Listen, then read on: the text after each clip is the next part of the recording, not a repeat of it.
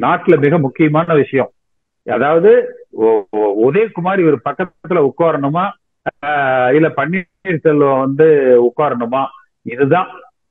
அதாவது இதுதான் அவருக்கு முக்கியத்துவம். அம்மா அவர்கள் மரணத்துல இருக்கிற மர்மம் அவருக்கு முக்கியத்துவம் இல்ல.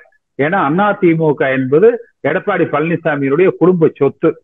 எடப்பாடி பழனிசாமி அவங்க தாத்தா வீட்டு சொத்து. அதனால வந்து ஜெயலலிதா அம்மா என்பவர் யாரோ? இவருக்கு சம்பந்தம் இல்லாதவர். எடப்பாடி பழனிசாமி பிறக்கிற பொழுதே முதலமைச்சராக பிறந்தவர் கட்சியினுடைய தலைவராக பிறந்தவர். அதனால வந்து அவருக்கு அவர் பிரச்சனை தான் முக்கியம். இல்ல அவர் கேட்கறது நியாயம்னு சில பேர் சொல்றாங்கல்ல. கேட்கக்கூடிய இன்னைக்கு என்ன சார்? இன்னைக்கு என்ன?